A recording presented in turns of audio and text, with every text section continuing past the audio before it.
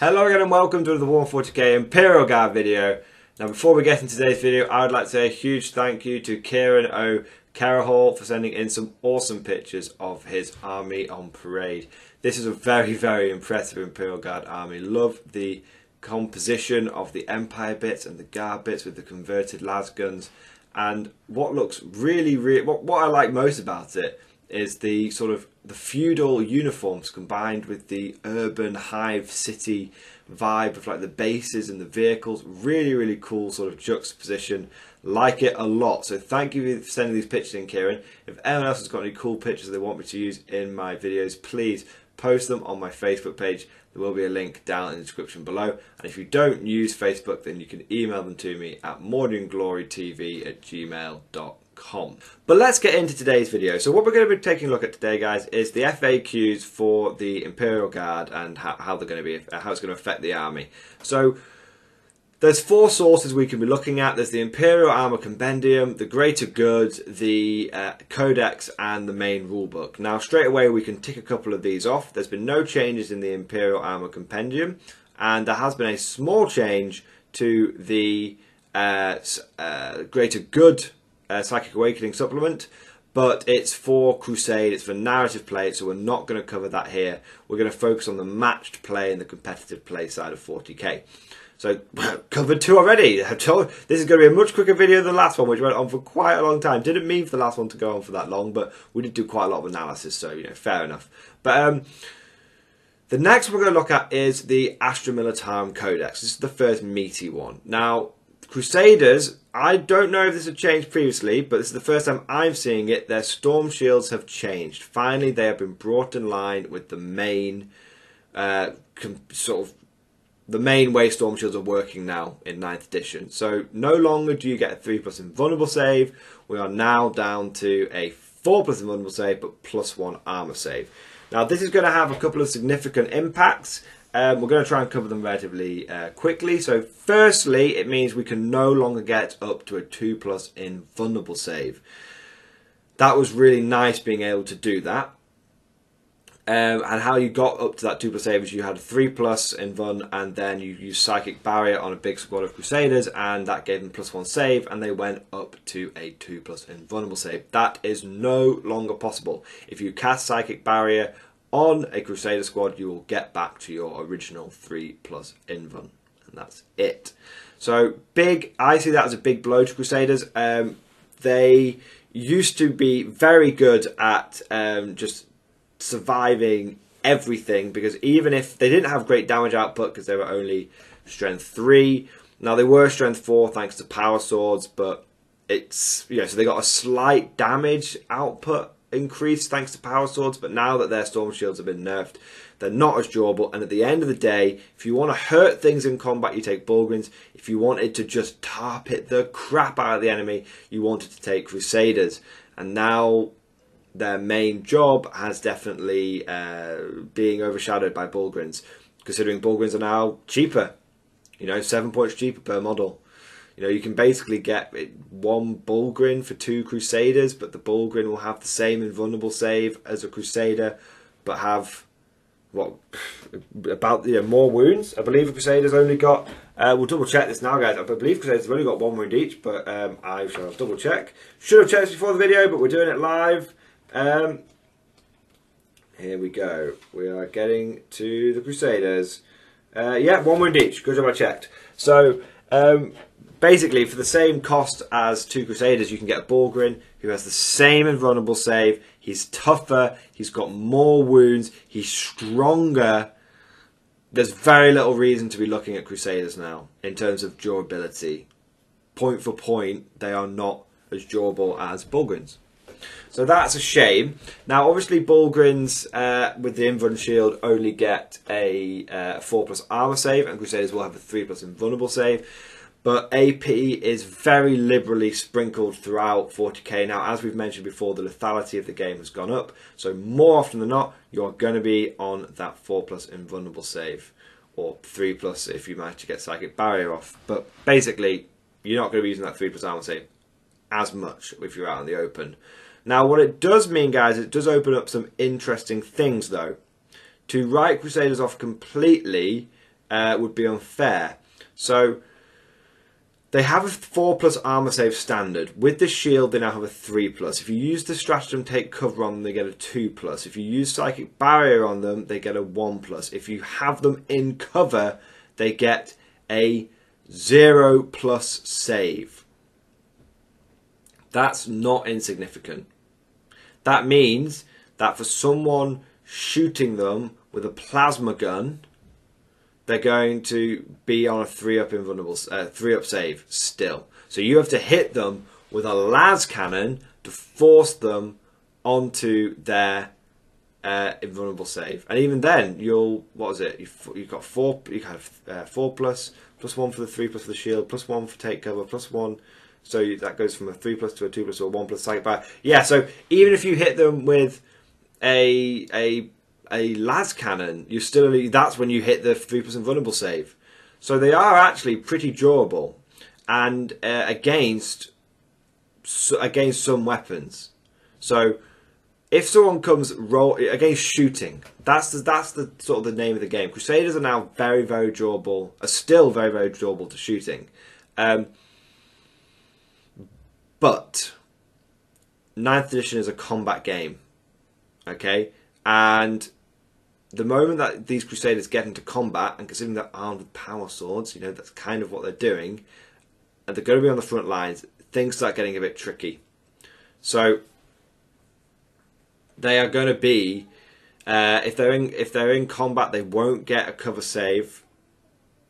Uh, they won't they won't get a cover save at all. So what ends up happening is, and psychic barrier can be it can be denied and you can't use take cover either. So you could easily find yourself when you're in combat. You can't use take cover on them. You don't get you don't get cover saves for being in combat either. Suddenly you find your crusaders are on a um, on a, only only a two plus armor save.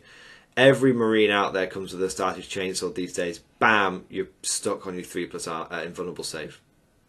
Straight if if you got psychic barrier off yeah, an, assault, an assault unit with uh, a starter chainsword and assault doctrine will force you, and you didn't get psychic barrier off, will force you straight onto that four plus vulnerable save. Yeah, straight onto it. So it's not ideal. It's not ideal. So the point is, is that in if you have all the things set up right for them, they'll be really durable for shooting. If you have them on the front lines, holding objectives, getting involved in the brawl, they're probably going to be on a three plus invulnerable save now. And the other thing to mention is it used to be just a, it used to be very simple to get Crusaders to work.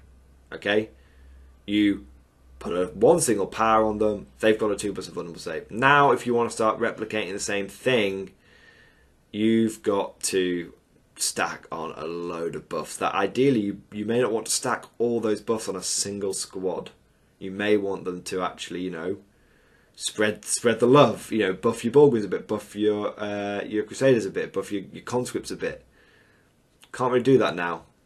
So Crusaders now require a lot more investment to make work uh, to the same level that they were at before they got nerfed. And even then, you can be forced onto a 3 plus save now rather than a 2 plus. So that's a shame. Uh, I can see Crusaders having some uses. I'll sit them on an objective and I'll be in cover and I'll be in a 2 plus save. And so most indirect fire weapons have a most, not looking at the guards, have a have a low AP, so they'll probably be okay. But long story short, guys, it's not a buff for Crusaders. It's not a buff. Um, it's not ideal. The other thing that's in the FAQ is the Sword of the Desert Tigers, which is the relic Qatar, uh, Tallarn power sword, has got plus one strength now, so that's good. So um, that's a slight buff for, for an obscure relic to bring it in line with the power swords. Now, so we've started off negatively, and then we started off with a little buff, and now we're going to move into a bigger buff, which is essentially the, there's there has been some changes around. Whoever wins the dice off has to go first now. That has that is a good change in the main core uh, uh, core rulebook because it means that now people will be less inclined to deploy defensively to try and make their opponent waste the first turn because they might deploy defensively and then get a turn one and then be out of position. So now you kind of have to play it if you're going to get turn one, because if you do, you want to have to be able to capitalize on it. So I like that. There's also the change where you um, also the change where you uh, if you go second, you score at the end of turn five now. So you, t- you score at the beginning of every single turn normally, but then you get to turn five uh, and you score your primary points at the end if you go second. Basically, the reason for that is previously whoever went first in their turn five could put everything into pushing the enemy off the objectives, and then it gets the opponent's turn five and they're on no objectives, and so they can't score any points, and it's just a bit unfair. So now, if you go second, you get the chance to still catch up um, in turn five, which is good. I think that will both that's both good and bad for guard. If you're in, it's, it's it's good and bad for everyone. It's a nice equals equals change. I like that one. Um, one of the biggest changes they've changed the way that uh, bring it down works. Where now essentially, if it's a small vehicle, it's if it's ten wounds or less, it's one point, and if it's 11 wounds to 19 wounds, it's two points, and if it's a massive vehicle, it's three points. But basically, guys, they've chimeras and sentinels and whatnot are only giving away one point now, and hellhounds and Leman Russes and stuff are giving away um, two points, which is a decrease. It's a big decrease. Now they haven't stopped the overlap between thin the ranks and bring it down. So a Chimera will still give away two points overall because it'll give one point away for thin the ranks and one point away for bring it down. But it is a 33% decrease in the amount of victory points it's going to give away. You could turn up to the field of battle with 10 Chimeras now, and the enemy can't max out bring it down. And in theory, they couldn't max out thin the ranks either. You could just take a load of like characters and bullgryns and stuff. So in theory, we now are in a much better position in terms of secondary bleed would I like to see them get rid of the overlap between thin the ranks and bring it down? Yes. I think that is what's needed to truly level the playing field.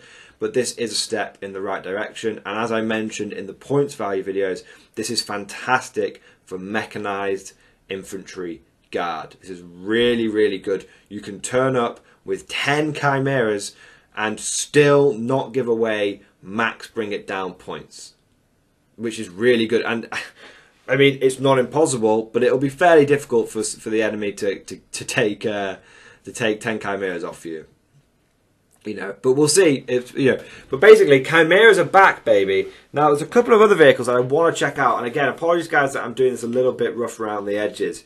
But I just want to have a look at some of the other vehicles that we have in our repertoire that might allow us to um, take advantage of this. So let's have a look at the Basilisk. Ah, it's still got 11 wounds, unfortunately.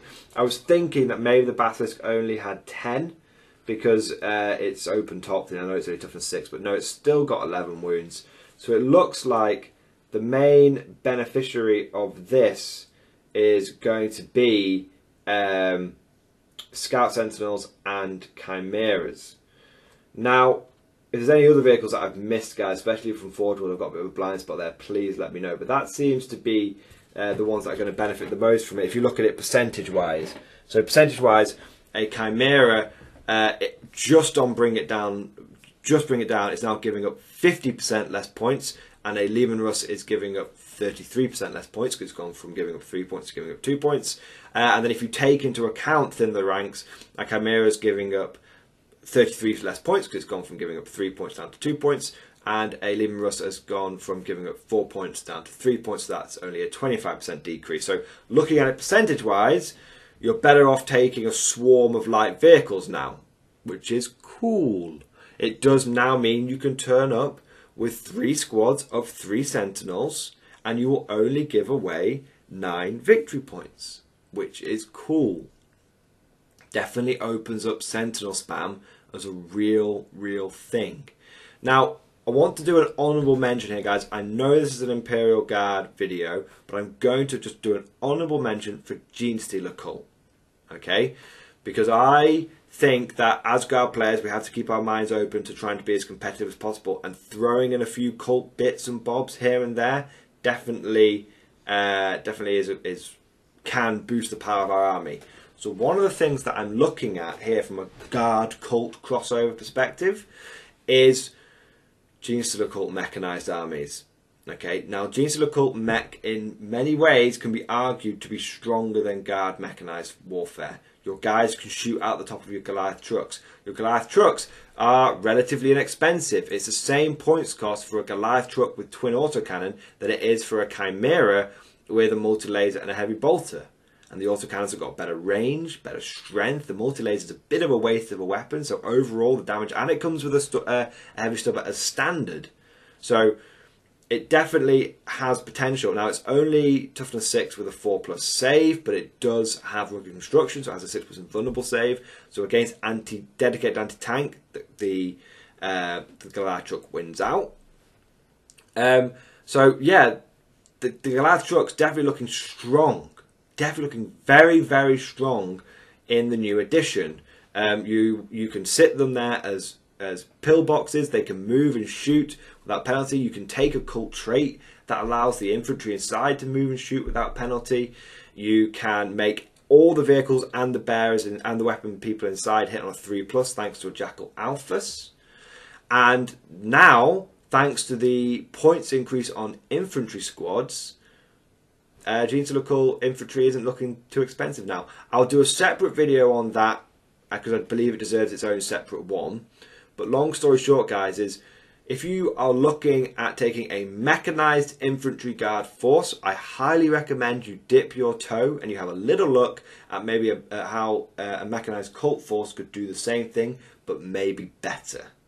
Okay, guys inside can shoot out. Everyone's hitting on threes. You can put lascan equivalents in the back that can shoot out. vehicles are better, and your sentinel equivalents, your uh, ridge runners. Yes, they are more expensive but if you're taking them with as lascannon sentinels, it's 50 points for a single lascannon sentinel, or 70 points. So yes, 20 point increase for a uh, ridge runner, but it's on average going to get more shots with its main weapon. It comes with two heavy stubbers. It comes with a six up invulnerable save. It's got more movement, um, and again, it's still and it's got more wounds. So mechanized Genestealer is looking powerful, but I'm going to do uh, a proper video on that later. I just want to do an honourable mention right now. I'll spend a minute mentioning it. Hope you guys have enjoyed this video. Let me know what you think down in the comment section below. If I've missed anything, please let me know. Put it down in the comment section and then I can read it and I can address it in another video or I can pin a comment to the, to the top of the video so other people can see it. Hope you guys have enjoyed this video and of course, I'll see you guys next time.